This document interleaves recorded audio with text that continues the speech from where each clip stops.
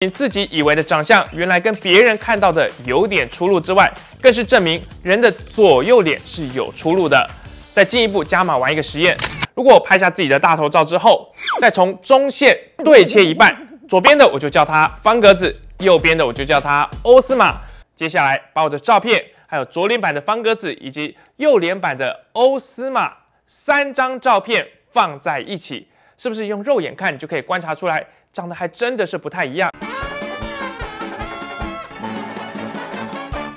？Hello，欢迎收看《花式炒冷饭》，What's Chill and Fun。最近有几个新闻要跟大家分享一下，因为我怎么看哦都看不明白。先前从蔡总统网络流传那个抓住青春尾巴的跳舞影片，明明看起来这么真，那么动感，可是都是假的，眼睛业障重。而美国总统拜登上了 CNN 的现场节目，双手握拳，眼睛凝视，不知道在哪里。看这样子动也不动的十九秒钟，看起来是假的啊，假到不行。根本是搞笑影片啊，但却是真的。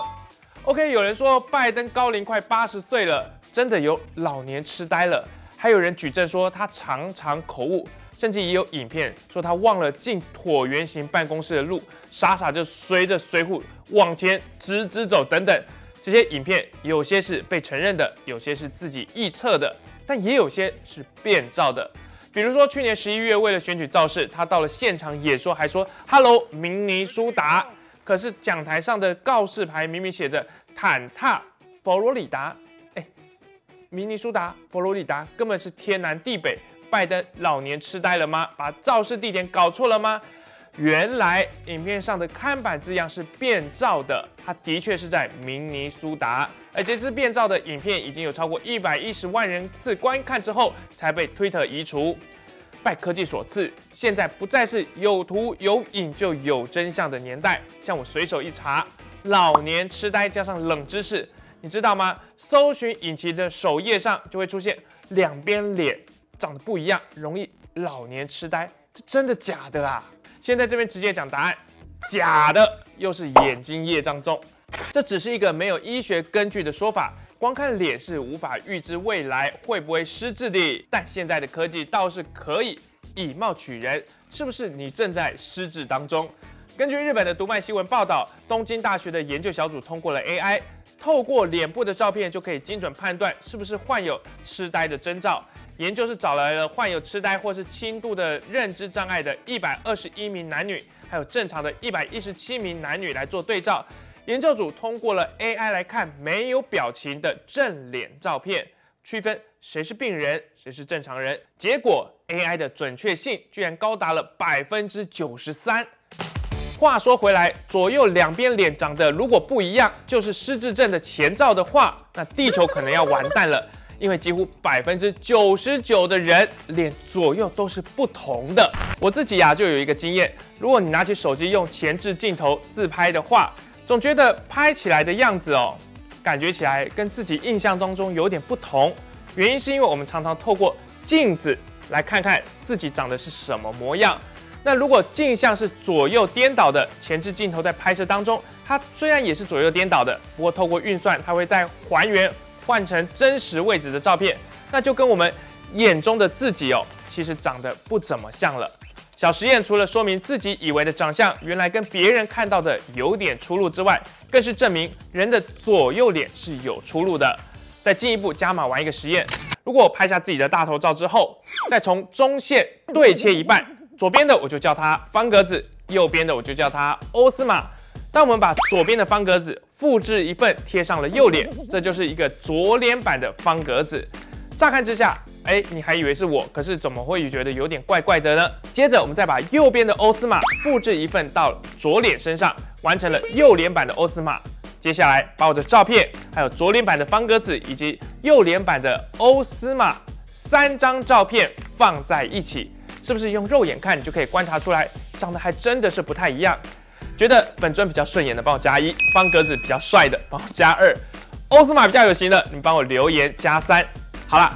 先不说我这个称不上赏心悦目的平凡脸了，就算是演艺圈当中那些几乎是万中选一，可以大声说我就是靠脸吃饭的俊男美女明星们，一样来玩左脸右脸的游戏。我们正常脸放中间来比对看看，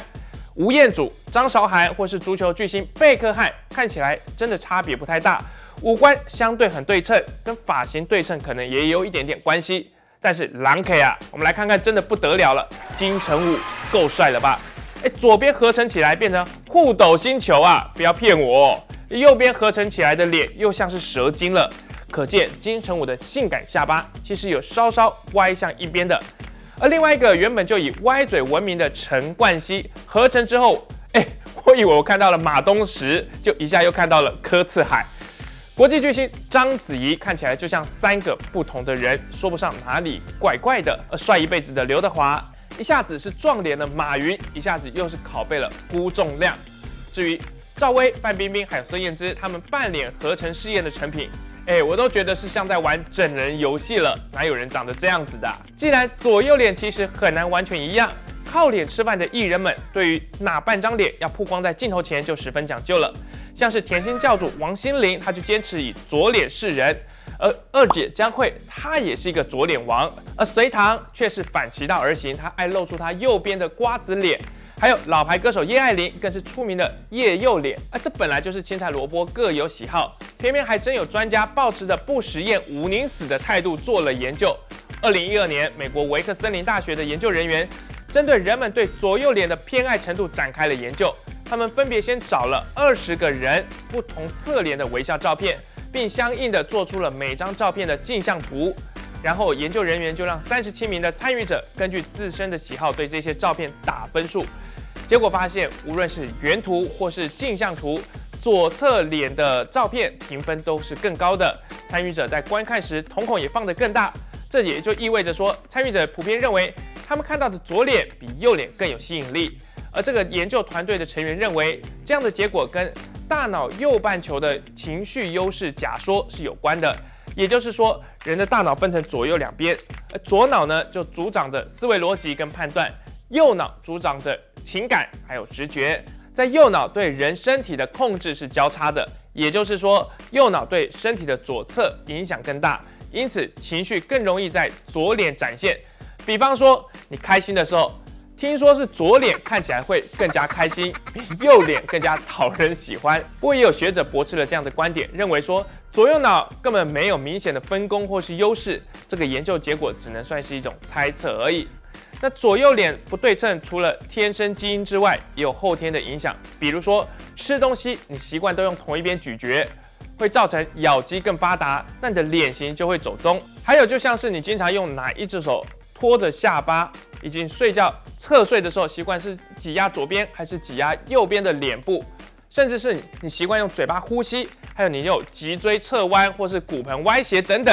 这些居然都会影响到你有大小眼、高低眉或是歪下巴。那网络上还流传一个方法，你可以自己检测一下脸型是不是严重的不对称。那现在，请你跟我这样做。第一个，你要闭上你的眼睛，手指放进到耳朵里面，这样子闭起来。你要张大嘴，发出啊的声音，然后啊的这样子口型，你要重复的张嘴闭嘴的动作。如果你有听到声响的话呢，那就代表说你的脸型是有歪斜的，或者张开的时候你是 Z 字形的张嘴，那你就是不对称的。如果这边你不确定说怎么样才算是 Z 字形的张开嘴的话呢？其实啊，你可以用手机录下来自己看，然后你就会发现，嗯，原来自己也挺能模仿癞蛤蟆的呢。如果你喜欢我的节目，请不要忘记按赞、分享出去，至少留个言，什么楼主好人一生平安，随便都好。花式炒冷饭，花式秋人放，我们下周见喽，拜拜。